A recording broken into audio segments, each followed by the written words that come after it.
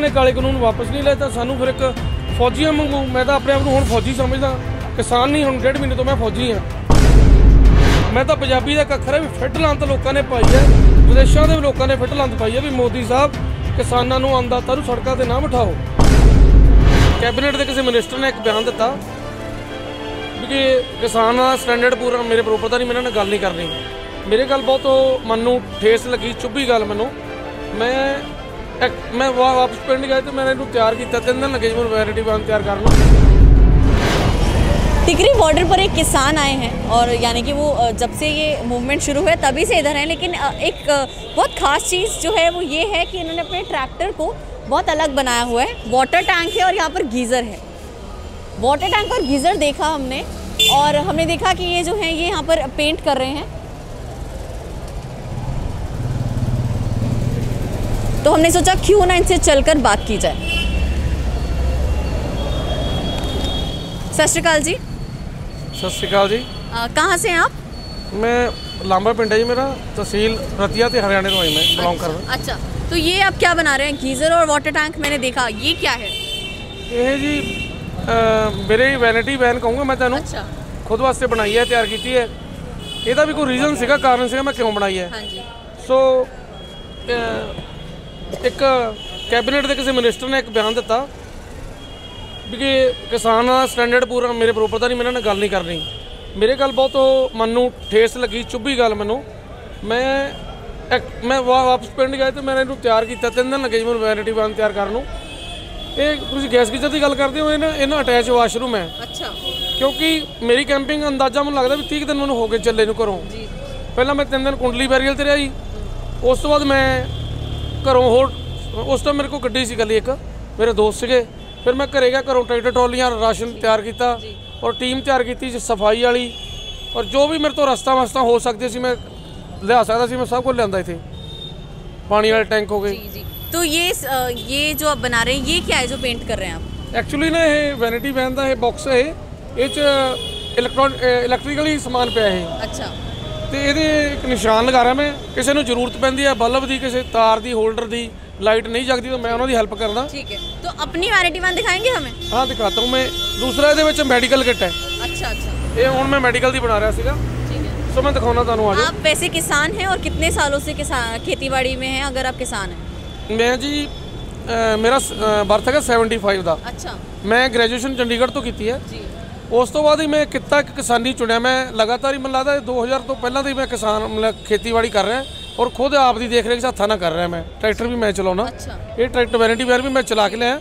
ਹਾਲਾਂਕਿ ਮੇਰੇ ਗੱਡੀਆਂ ਹੋ ਰਹੀਆਂ ਮੇਰੇ ਨਾਲ। ਮੇਰੇ ਭਰਾ ਆਏ ਵੇ ਮੇਰੇ ਦੋਸਤ ਆਏ ਵੇ ਉਹ ਚਲਾਉਂਦੇ ਆ ਡਰਾਈਵ ਕਰਦੇ ਉਹਨਾਂ ਨੂੰ। ਦੋ ਮੋਟਰਸਾਈਕਲ ਹੈ ਮੇਰੇ ਇੱਥੇ ਦੋ ਟਰੈਕਟਰ ਆਏ ਹੋਏ ਆ। ਦੋ ਗੱਡੀਆਂ ਮੇਰੇ ਕੋਲ ਇੱਥੇ ਦੋ ਜਨਰੇਟਰ ਮੇਰੇ ਚੱਲੀ ਜਾਂਦੇ ਇੱਥੇ। ਤਾਂ ਮੈਂ ਮੇਰਾ ਐਕਸਪੀਰੀਅੰਸ ਹੋਣਾ ਬਾਈਕ ਸਾਲ ਦਾ ਖੇਤੀਬਾੜੀ ਦਾ ਹੀ।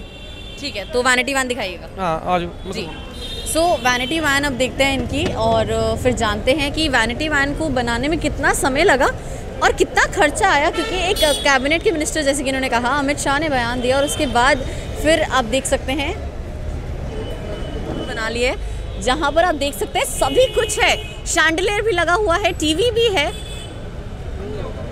जी।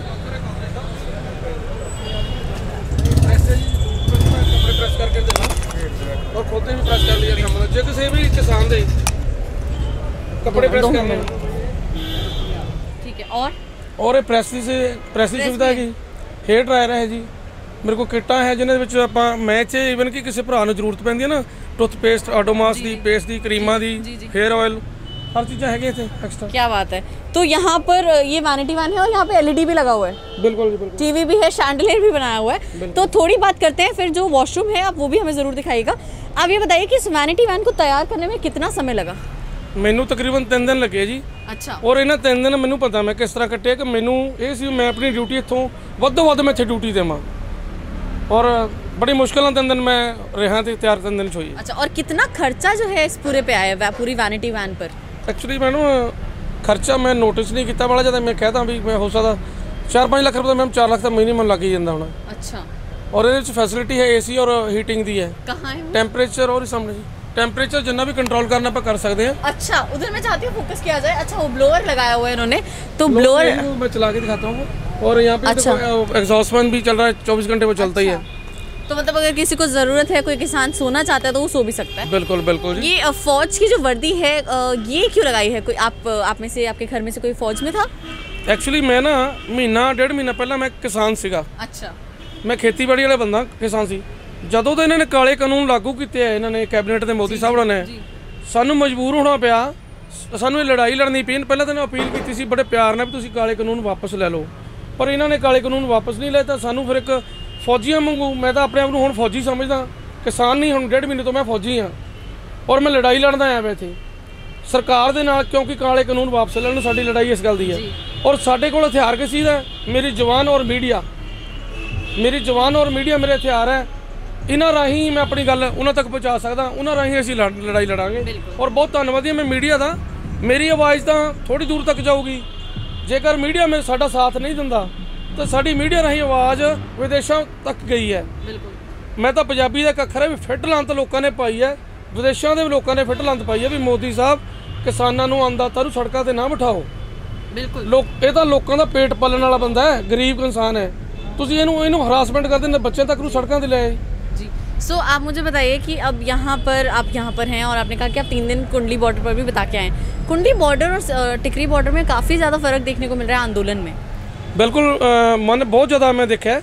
ਉਹ ਜਿਹੜਾ ਆਪਣਾ ਪੰਜਾਬ ਦਾ ਜਿੰਨਾ ਵੀ ਏਰੀਆ ਹੈ ਜ਼ਿਆਦਾਤਰ ਉਧਰੋਂ ਕਹਿ ਦਈਏ ਆਪਾਂ ਅਸੀਂ ਅੰਮ੍ਰਿਤਸਰ ਅਹ, ਲੁਧਿਆਣਾ ਜਲੰਧਰ ਤੋਂ ਪਟਿਆਲਾ ਸਾਈਡ ਉਹ ਤਕਰੀਬਨ ਉਧਰ ਬੈਠੇ ਆ जी ਤੇ ਉਹਨਾਂ ਦਾ ਨੈਚੁਰਲੀ ਹੈ ਕਿ ਪੰਜਾਬੀ ਜਿੱਥੇ ਜ਼ਿਆਦਾ ਬੈਠੇ ਹੋਣ ਉਹ ਤਾਂ ਮਾਹੌਲ ਹੀ ਕੁਝ ਹੋਰ ਹੁੰਦਾ ਹੈ। जी जी तो आपने नहीं सोचा कि आप भी कुंडली बॉर्डर चाहे आप अ, टिकरी बॉर्डर ही क्यों आए ਕਿਉਂਕਿ ਐਕਚੁਅਲੀ ਮੇਰੀ ਜ਼ਮੀਨ ਇੱਧਰ ਮੇਰਾ ਪਿੰਡ ਇੱਧਰ ਪੈਂਦਾ ਇਸ ਰੋਡ ਤੇ ਅੱਛਾ, ਸਿਰਸਾ ਡੱਬ ਵਾਲੀ ਫਤਿਹਵਾ ਰੋਡ ਹੈ ਤੇ ਇਸ ਰੋਡ ਤੇ ਬ- ਮੇਰਾ ਫਰਜ਼ ਸੀਗਾ ਕਿਉਂਕਿ ਮੇਰੇ ਪਿੰਡਾਂ ਦੇ ਕਿਸਾਨ ਮੇਰੇ ਏਰੀਆ ਦੇ ਕਿਸਾਨ ਆਏ ਹੋਏ ਆ ਮੈਂ ਇਹਨਾਂ ਦੇ ਕੰਮ ਆਵਾਂ ठीक है तो यहाँ पर जो किसान हैं आखिरी सवाल आपसे कि यहाँ पर किसानों को आप और क्या क्या मदद कर रहे हैं कैसी मदद कर रहे हैं ਕਿਸਾਨਾਂ ਦੀ ਤਾਂ ਮੈਂ ਮੇਰੇ ਚਾਚੇ ਤਾਏ ਮੇਰੇ ਭਰਾ ਹੀ ਹੈ ਤਾਂ ਇਹਨਾਂ ਨੂੰ ਦੇਖੋ ਰੋਟੀ ਪਾਣੀ ਦੀ ਜ਼ਰੂਰਤ ਪੈਣੀ ਹੈ ਉਹ ਉਹਨਾਂ ਨੂੰ ਪ੍ਰੋਵਾਈਡ ਕਰਾਈ ਦੀ ਹੈ ਨਹਾਉਣਾ ਬਾਥਰੂਮ ਕਿਸੇ ਨੇ ਫਰੈਸ਼ ਹੋਣਾ ਹੈ ਪੇਟ ਸਾਫ਼ ਕਰਨਾ ਹੈ ਉਹ ਪ੍ਰੋਵਾਈਡ ਕਰਾਈ ਦੀ ਹੈ ਦਵਾਈਆਂ ਦੀ ਜ਼ਰੂਰਤ ਪਵੇ ਕਿਸੇ ਸੱਟ ਪੇਟ ਲੱਗੇ ਅਸੀਂ ਉਹ ਵੀ ਕਰਾਉਨੇ ਆ ਮੈਂ ਬਿਜਲੀ ਦਾ ਵੀ ਤੁਹਾਨੂੰ ਦੱਸਿਆ ਵੀ ਬਿਜਲੀ ਦੀ ਕੋਈ ਕਿਸੇ ਦਾ ਫਾਲਟ ਪੈ ਜਾਂਦਾ ਟਰੈਕਟਰ ਦਾ ਫਾਲਟ ਪੈ ਗਿਆ ਮੇਰੇ ਕੋਲ ਵੈਲਡਿੰਗ ਸੈੱਟ ਵੀ ਪਏ ਜੀ ਮੇਰੇ ਕੋਲ ਦੋ ਜਨਰੇਟਰ ਪਏ ਚੱਲੀ ਨੇ ਲਾਈਟ ਦੀ ਦਿੱਕਤ ਆਵੇ ਮੈਂ ਲਾਈਟ ਵੀ ਪ੍ਰੋਵਾਈਡ ਕਰਾਉਣਾ ਉਹਨਾਂ ਨੂੰ जी ठीक है सो मैं चाहती हूँ एक और बार जो है इनका ये मिनी हाउस दिखाया जाए सो टिकरी बॉर्डर पर आपने देखा कि यहाँ पर ये जो किसान आए हैं, इन्होंने एक मिनी हाउस बना लिया है क्योंकि पंजाबी हैं आफ्टर ऑल और जैसे कि इन्होंने बताया कि बयान जो है मिनिस्टर ने दिया, उसके बाद इनकी, इन्हें बहुत ठेस पहुँची और इन्होंने सोचा कि जो अक्सर असल स्टैंडर्ड है वो दिखाया जाए। क्या कहना है इस मिनी वैन के बारे में? ज़रूर बताएँ हमें कमेंट करके और बने रहेगा ट्रू स्कूप के साथ।